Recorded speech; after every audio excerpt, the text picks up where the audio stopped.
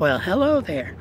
Thank you for clicking on this video, and I hope that I will be entertaining in some weird form of way. Just thought I would um, check in. Um, I don't know if I did something really stupid or really wise with my money when I got it from that job. I just had enough. I, I got paid enough from that overnight job at Lowe's. I went and, okay, I went and checked into a hotel. I just, I needed some, I needed to get out of the rain. I went to this really, really roach hotel called um, Beaverton Days Inn.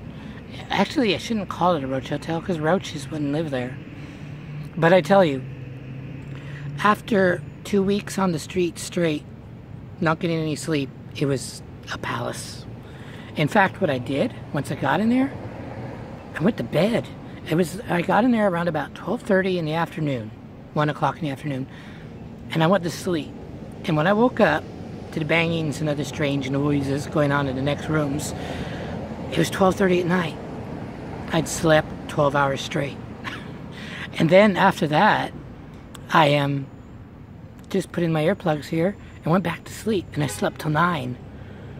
I slept I don't know, how long is that? I must have slept over 20 hours, almost close to 20 hours, 18 hours.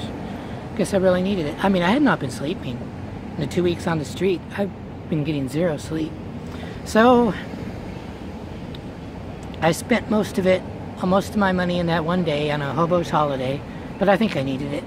I also cleaned up, got to shave, got out of the rain, caught up in my sleep, and I've already gotten um, they were asking for another job. You know, we have another job opening. I already got a message in on that. So hopefully they'll send me back out working again so that I can get some more money. Um, still homeless. And the thing is, it's been raining here in Oregon. Um, yeah, raining in Oregon, who would have guessed? It's been raining nonstop for like last week. I mean, right now it's like little, little um, break in the rain, but it's going to start again soon. So it's really, really difficult to sleep out rough in weather like this. There's not a really whole lot of places to go, and those places are well patrolled or well claimed by other homeless, or they're um, well patrolled by the local gendarmerie. So it's you don't get much sleep. Let's see what else is going on.